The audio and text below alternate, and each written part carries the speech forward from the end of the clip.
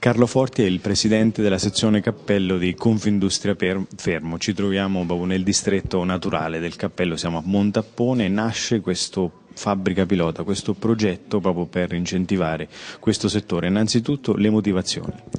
Abbiamo sempre più bisogno di manodopera specializzata, di gente formata e di ragazzi in particolare che vengono inseriti nel nostro settore. Il distretto crescere, sta crescendo sempre più di qualità, dunque la specializzazione e la professionalità è sempre più importante.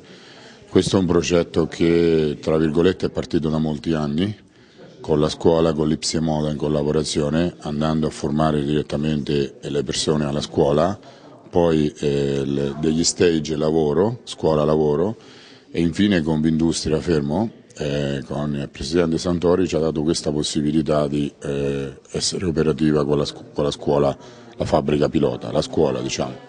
Stefania Scatasta è la dirigente dell'Ipsia Ricci di Fermo, dove appunto si eh, svolgerà questo progetto Fabbrica Ideale. Ecco, la scuola come accoglie questa idea? Ma positivamente perché dà continuità comunque a un progetto di alternanza scuola-lavoro che noi con il distretto del Cappello già attiviamo da diversi anni. L'idea in questi anni è stata quella di estendere al, al, a tutte le classi della nostra scuola questa attività, piegando la programmazione curriculare verso lo studio e la realizzazione dei cappelli, sia per quanto riguarda la progettualità anche artigianale, per cui per noi è davvero un'occasione grande il fatto di poterci confrontare con le aziende ed attivare processi di miglioramento nella nostra formazione professionale. Mauro Ferranti, sindaco di Montappone, un'importante iniziativa per una città che è un po' il simbolo del distretto del cappello, questa della fabbrica ideale.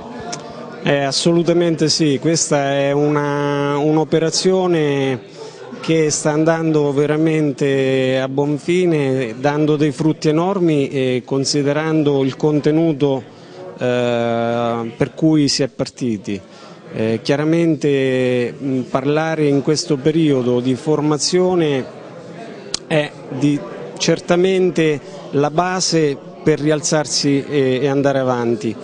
Questo è un distretto nel quale le persone sono abituate, eh, parlando di paglia, da un prodotto povero alla creatività e quindi a, al lavoro e conseguentemente eh, parallelamente questa mh, fabbrica pilota, questo progetto è una fotocopia di quello che è stato nei tempi passati, chiaramente con la tecnologia eh, di cui oggi si può disporre e l'esperienza delle maestranze che eh, sicuramente saranno all'altezza per dare eh, quella competitività, quella giusta formazione a chi parteciperà.